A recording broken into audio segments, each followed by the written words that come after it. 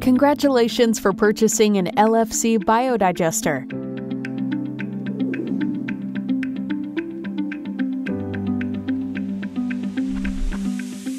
Remove the top of the crate first,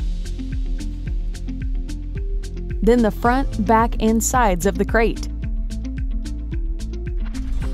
then the horizontal stay bar. Use a forklift to remove the LFC biodigester from the crate. Recycle the crate or save it for future use. Roll the LFC biodigester into place. Remove plastic wrap then remove all accessories from inside the LFC biodigester.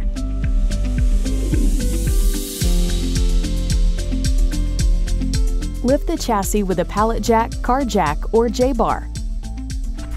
Install all four feet into the load cells. Screw the foot as far as possible into each load cell so that no thread is showing. Place a rubber block under each foot. Use a spirit level so that the LFC biodigester is level.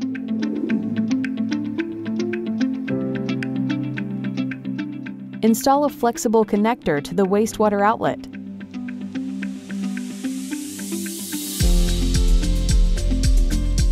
Install a stop valve. Plumb the outlet to a grade level drain.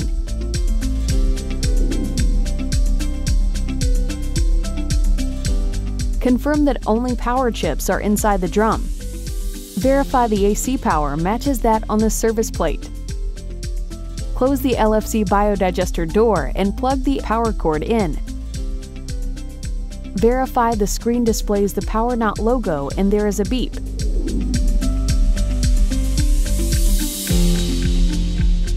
Fit two half-inch brass hose adapters to the water inlets.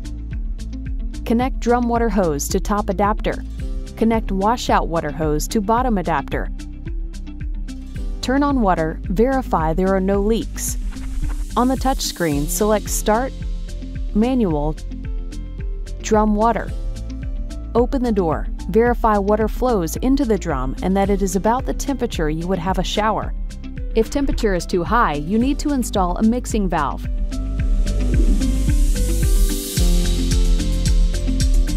After make sure LFC biodigester is up and running, then you can activate the PowerZyme. Add equal parts PowerZyme, sugar, and rice into a bucket. Add 4 parts of warm water into the bucket. Leave for 5 to 10 hours in a warm room with stir mixture well several times.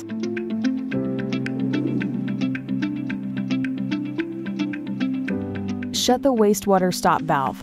On the touchscreen, select Start, Manual, then turn on both supply water and forward. Wait until the drum is one third filled with warm water. Exit manual mode, leave for 3 to 5 hours. Open stop valve to drain all the water completely. On the touchscreen, select Status, Diagnostics. Adjust the foot that has the lowest reading displayed on the screen until it is equal to the next lowest reading. Use a 19 millimeter wrench to adjust the feet. Tighten the upper lock nuts. Ensure no object is on the LFC biodigester.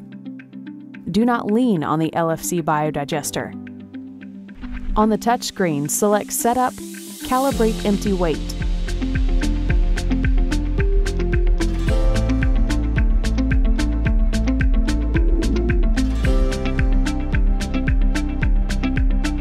Connect the LFC biodigester to the internet.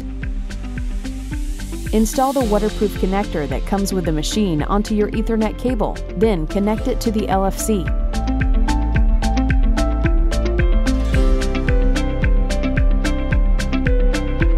If no cable is available, configure a Wi-Fi client or a GSM modem wireless connection.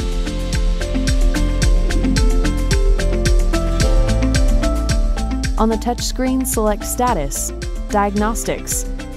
Verify all parameters are OK. Correct any errors that are reported.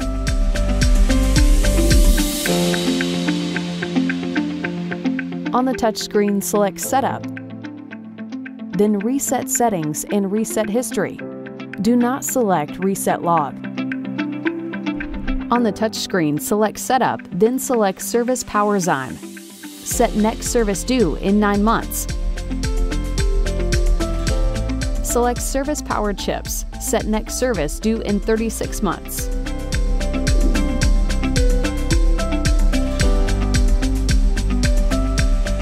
Add waste food to the drum. At least 20% of the LFC biodigester's nominal capacity.